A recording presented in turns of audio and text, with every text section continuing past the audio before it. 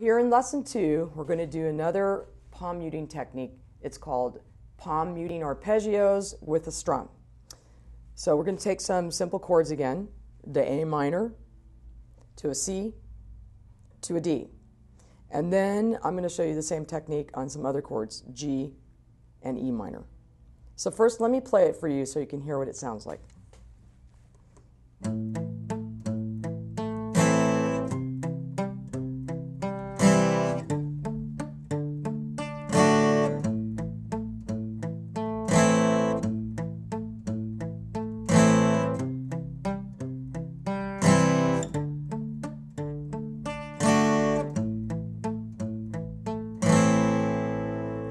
All right, so let me explain to you exactly what I'm doing. First of all, an arpeggio is a note that follows a note that follows a note.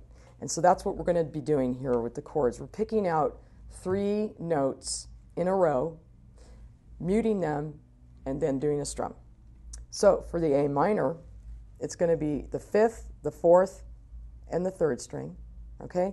For the C, it's going to be the same thing the fifth, the fourth, and the third string. And for the D, it's going to be the fourth, the third, and the second string. Now, the picking pattern is really important too for speed and for clarity. I'm doing a down, up, up stroke, okay?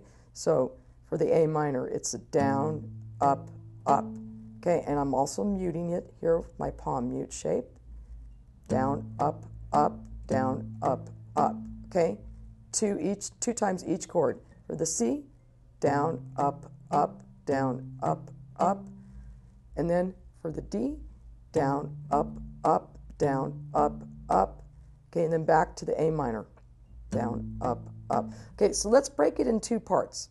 Let's just practice the arpeggio with the muting first, and then we'll add the strum. Okay? So here's the arpeggio. Two, three, four. Okay, now let's do the C. Let's do the D. And then back to the A minor. Let's do it again. Two, three, four. C. D. And back to the A minor. Okay, now we're going to add the strum in between.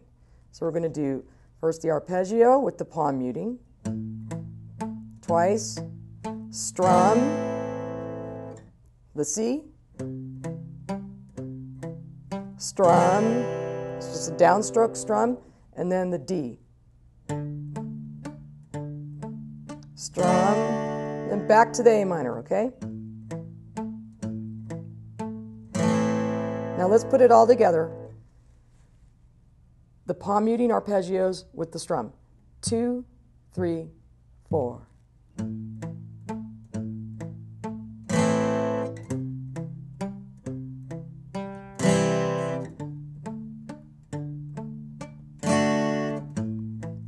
One more time.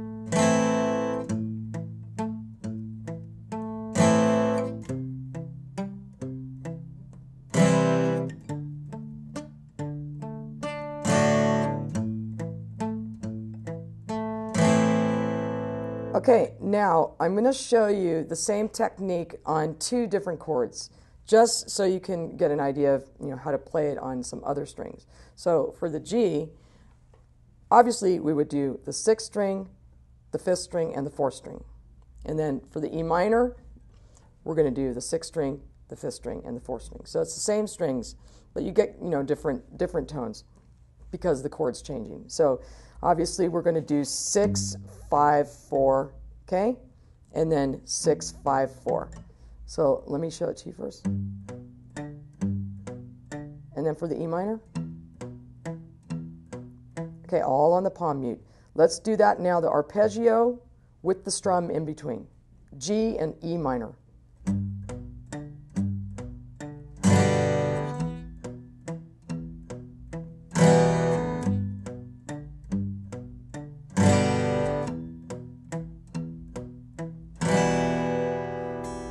Okay, so that's the palm muting arpeggios with a strum.